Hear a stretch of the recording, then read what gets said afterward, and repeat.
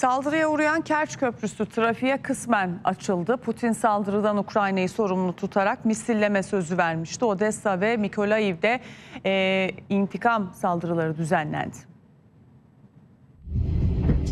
Rusya için kritik önemdeki Kerç Köprüsü yeniden trafiğe açıldı. Pazartesi günü düzenlenen İHA'lı saldırıda hasar gören köprüde ulaşım tek şerit üzerinden sağlanıyor. Rusya Devlet Başkanı Vladimir Putin iki kişinin ölümüyle sonuçlanan saldırıya terör eylemi dedi. Ukrayna'yı sorumlu tuttu, köprünün derhal onarılması için talimat verdi. Ukrayna Kerç Köprüsü'ne yapılan İHA'lı saldırıyı üstlendi. Amerikan CNN televizyonuna konuşan Ukrayna Güvenlik Teşkilatı'ndan bir yetkili, Ukrayna ordusuyla ortak operasyon düzenlediklerini açıkladı. Погибли мирные граждане. Putin misilleme sözü vermişti. Rusya Savunma Bakanlığı düğmeye bastı. Odessa ve Mikolaiv'deki yakıt depolarına intikam kod adlı saldırılar düzenlendi. Rusya Savunma Bakanlığı köprüye saldırmak için kullanılan mürettebatsız deniz araçlarının buralarda hazırlandığını ileri sürdü. Kerç Köprüsü Ukrayna'nın güneyindeki Rus güçlerinin en kritik tedarik hattı. Ukrayna'nın Haziran'da başlattığı karşı taarruzdaki ana hedeflerinden biri de Rusya'nın Kırım'la bağlantısını kesmek. Köprü geçen yıl Ekim ayında da saldırıya hedef olmuştu. Rusya tahıl anlaşmasına geri dönmek için şartlarını masaya koydu ve serbestçe gıda ticareti yapabilmesini engelleyen yaptırımların gevşetilmesini istiyor. Amerika Birleşik Devletleri bu konuda bir esneme sinyali vermedi. Ukrayna ise tahıl ihracatı için yola Rusyasız devam etmek istiyor.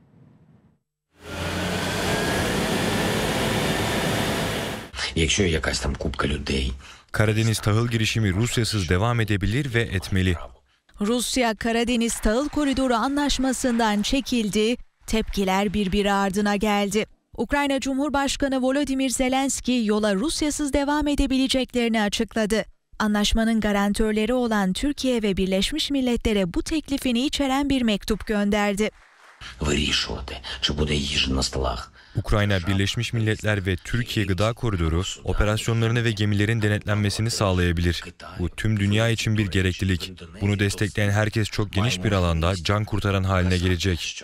Ukrayna Dışişleri Bakanı Dimitro Kuleba, anlaşmanın sonlanmasının özellikle Asya ve Afrika'daki ülkelere zarar vereceğine dikkat çekti. Çözüm bulmak için yoğun müzakerelerin süreceğini söyledi.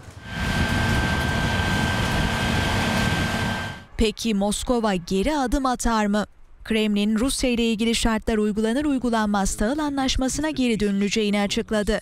Topu Amerika Birleşik Devletleri ve Avrupa Birliği'nin sahasına atan Rusya, kendi tahılını serbestçe ihraç edebilmek için somut adım bekliyor. İki talebi var. Rus bankalarının ödeme yapmasına ve Rus gemilerinin hareket etmesine engel olan yaptırımların gevşetilmesi. Türkiye ve Birleşmiş Milletler çözüm için devrede. Cumhurbaşkanı Erdoğan iyimser. Ağustos ayında Putin'in Türkiye'ye yapması beklenen ziyarette liderler düzeyinde inisiyatif alınabilir.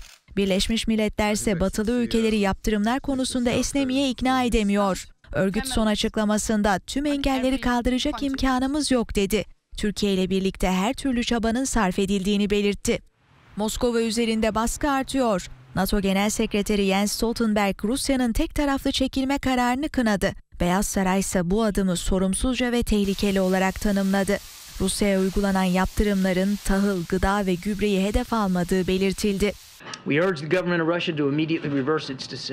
Rus propagandasının aksine yaptırımlar Rus gıdasını ve gübresini hedef almıyor. Bu yüzden değişiklikleri dikkate almak için hiçbir neden yok. Rusya'nın gıda ürünlerine yaptırım uygulanmıyor ancak bankacılık, gemicilik, sigortacılık alanlarındaki yaptırımlar ihracatı imkansız hale getiriyor.